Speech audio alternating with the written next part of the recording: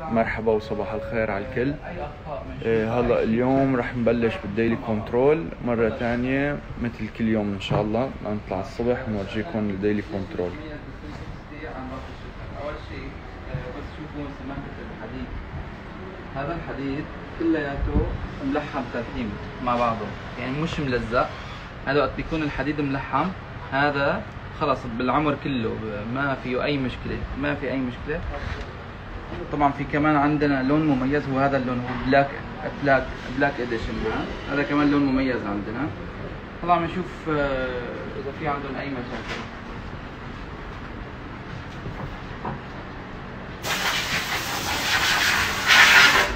مثلا هون في مشكله يلا راح اورجيكم اياها شوف هلا بدي أسأل ليش هذا اللون؟ هذا ليش اللون هذا هو بالعاده لازم يكون من البخ من البينت جاي جاهز وخالص بس طب bunun neden böyle ama ha şimdi mi kestin Denedik, baktılar ve pişirecekler. Hmm. Kes bunu bir santim büyük bir. Kestik tekrardan cilaya vereceğiz. peki siz normalde eee bunu hazır gelmiyor mu Hazır geliyor da büyük yapmışlar. Yani neden büyük yapıldı Şurası var ya, komple dışarıdaydı. Biz bir santim daha bunu kestik. tamam anladım Tam neden oturdu. büyük yapıldı normalde hep böyle böyle عن mi هذا geldi? اللون Bunda böyle hatalı البيج صادق عم Bu بيحكي böyle hatalı geldi. Bir daha bayağı uğraştırdı. Hmm. Kestik bunu. Anladım ama normalde hepsini aynı mı yoksa bir tane mi böyle Bunda geldi? böyle geldi. Diğeri Sadece bir tabii, tane. tabii. بقول انه هاي القطعة اجت كبيرة هي القطعة الوحيدة باقي القطع ما في اي مشكلة فاضطر يقصوها في منطقة التركيب وراح يرجعوا يعيدوا البينت تبعها مثلا باقي الشركات ممكن يعمل لك paint بغطي لك اللون ما بتحس عليه. نحن هلا بدنا نعيد آه، ال paint تماما من الصفر. خلص خلص مثلا آه، آه، السوفا من تحت بتكون بهذا الشكل مغطاة بهذا الشكل. يعني ما في أي مشكلة ما في أي خشب باين كله مغطى كفر كامل. tamam sonucu verebilirsin. Ee, Bunların arkası arkası nerede? Hepsi aynı şekilde kesildi. Ama Yani- hepsini sen sen dedin ya bir tane. Yok yok hepsi aynı. Hani daha öncekilerden bahsettim sanırım. Ha, Aynen. Hepsi de aynı bir santim büyük geldi papeller. Hepsini kestik burada. hepsini kesildi. Hepsini kestik. İptidai edeceğiz onları. طبعا نحن عندنا بشكل عام آه، ست آه، ورش في المصنع اي ورشه بتسوي اكثر من خمس أخ- آه، اخطاء البونس تبعها بيروح. فهلا بدنا نشوف هذا مع ال- ال group ال- ال manager. بدنا نشوف إذا هذا بيتسجل عليهم خطأ ولا لا. لأن آه، كلياتها هذا الخلفية تبعيتها مساوينها كبيرة. وهذا الشيء غير مسموح. لازم يجي كل قطعة معمل لها كنترول من كل ورشة تطلع منها. هذا الموضوع بدنا بدنا ننظر له حاليا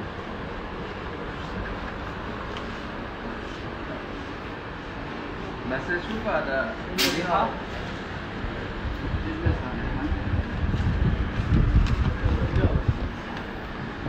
مريحة طبعا كل كل سوفا أو كل فوق نحن بنشيك على الراحة تبعها يعني ممكن يكون هذا الموديل جديد عندنا.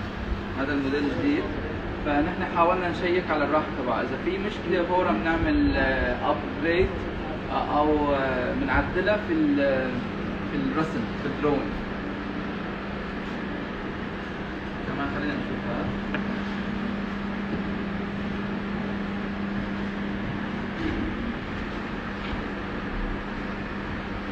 أي كرسي من كراسينا السفنج وال- والريش الموجود في قلبه هو محسوب الوزن تبعه.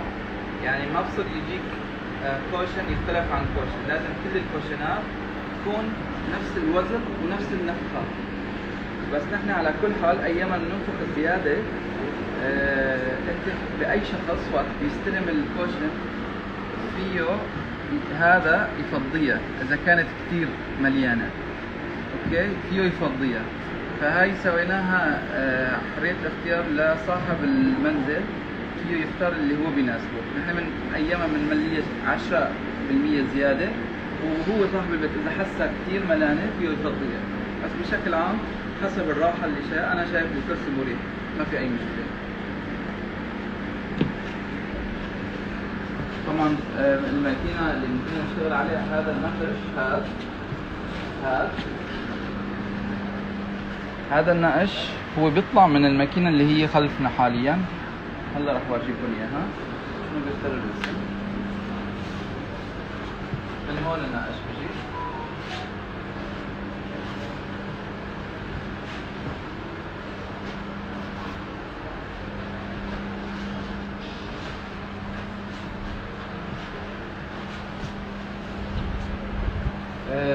كمان في هون عندنا شغلة لازم نعملها كنترول الخلفية تبع هذا كيف نعمل الماتش تبعهم؟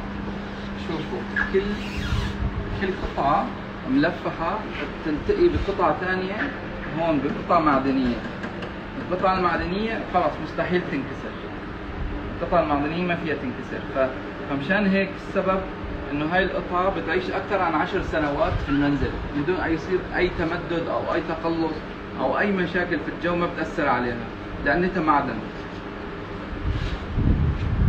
طبعا أي سوفا أو أي آه، يعني بوف أو سوفا بيجي معنا adjusted يعني آه، متغير. هذا حسب آه، شكل البلاط. ممكن تكون بلاطة أعلى أوطى. فكلياتهم ممكن تعير لهم الارتفاعات. بتيجي أكثر شيء على الباركيه. أيام الباركيه مع العمر بيخفص أو بصير له إيه. شيء مشان تعير الارتفاع ويضل قطعة مستقيمة نستخدم هي القطعة. بشكل عام وقت التركيب كل شيء اسطيات هون بيشيكوا بالأبعاد بالطول طريقة التركيب. إذا ما في أي مشكلة بيكمل. إذا صار في مشكلة فبينادوا لل لل- لل drawing وبيسألوا بيتأكدوا من هذا الموضوع وهيك بصير التشييك. طبعا أي شيء بتصير بيعدي عن أكثر أي نقطة أي items عندنا بيعدي أكثر عن 15 آه، مهندس هذول المهندسين كل واحد له آه، نقطة معينة في آه، في في في بحث المشكلة أو أو شو رسم وبيجي وراهم مدقق. فبيعدي أي items أكثر عن 12 مهندس. أي item بتشوفه هون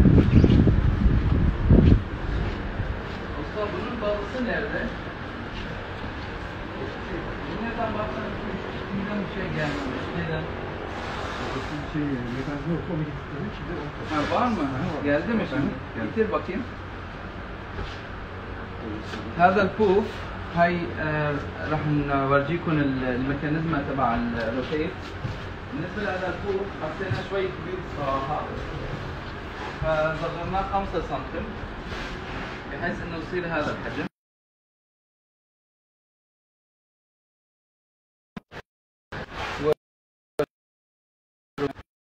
حطيناه شوي كبير صغرناه شي تقريبا 5 سم اوفست 2.5 من الجوانب. هيك شغلات دائما نعمل لها update update update لما تتناسب حجم القطعة مع شكل البيت مع الأبعاد تبع ال- ال- الشكل اللي بنستخدمها بشكل عام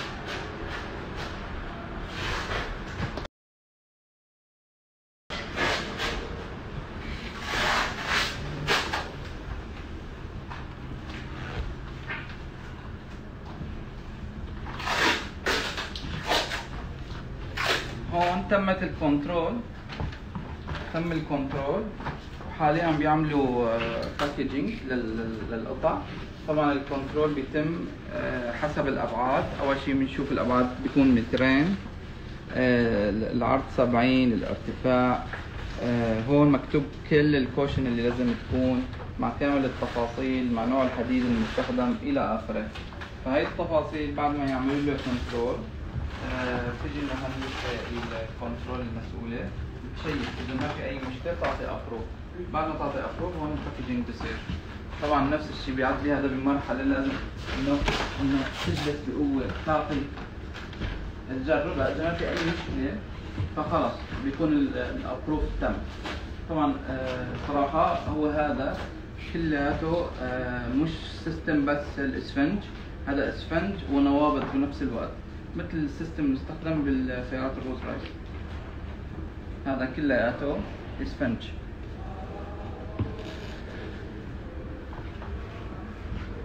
في منه سوفا وفي بعد ال armchair بنفس الوقت.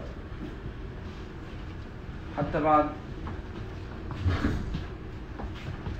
نفس الشيء هذا لكم ال adjustment في كل صوفة بنشوفها في عيار.